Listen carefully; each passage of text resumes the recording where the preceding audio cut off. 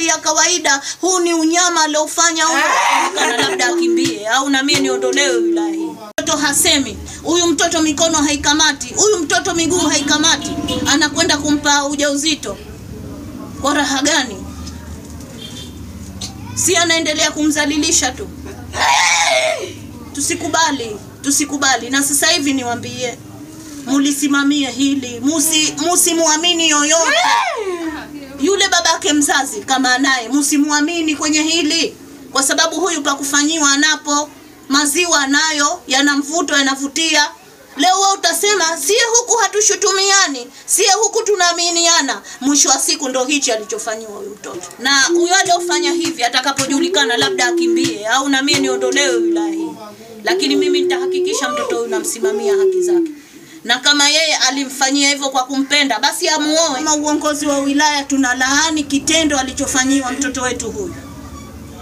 Mimi niombe sheha ili tufanye kwa mashirikiano makubwa na familia. Tena niwambie familia kwa sababu tuna kawaida ya watu kufanya suluhu. Yeye hakuangalia hakuiangalia hali ya yule tuna kawaida ya kufanya suluhu.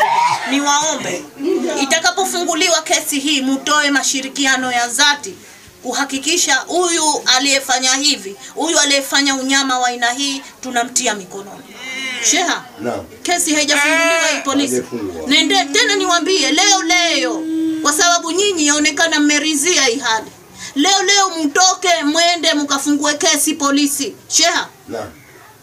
wasimamie leo leo waende polisi hao. wakafungue kesi ya uzalilishaji alafu tena vyombo vya sheria vifanye kazi zake Zake.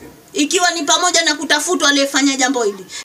Pia nikawashauri wale wazazi kwamba hili suala ni zito na yapaswa kulaaniwa ni kila mtu, lakini hatua ya mwanzo kwanza, mtoto kashajifungua, lakini apelekwe hospitali, mama mtoto apelekwe hospitali na mtoto apelekwe hospitali ili kufanyiwa uchunguzi zaidi. Lakini pia lazima ninyi mka- mka- mkaripoti polisi.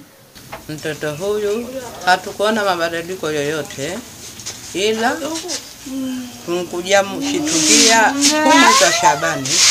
Tunamwona tumbo lina inuka kidogo, alafu tokea tokeo hilo tukawa hatuna usasita mmoja, kwa sababu ulaji mwingi naye.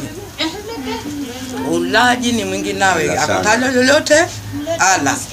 Sasa hapo se hatuwekwa na wasasita mmoja, tunkuja kwa na wasiwasi kwa mtoto amekaa hapo juzi, tuna twafuturu hapo tunapofuturu twamwona kanka kantulia, tunsema enda haja.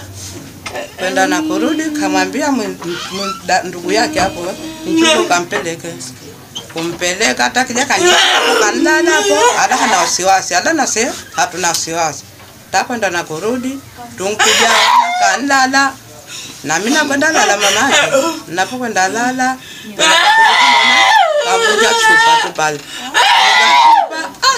haya bimbi Mm, na wanakwenda mwito jirani hapo, namwambia dai buncho kankuja ha? Una nini saizi? Namwambia ncho tuwe liliko lyote utaliona.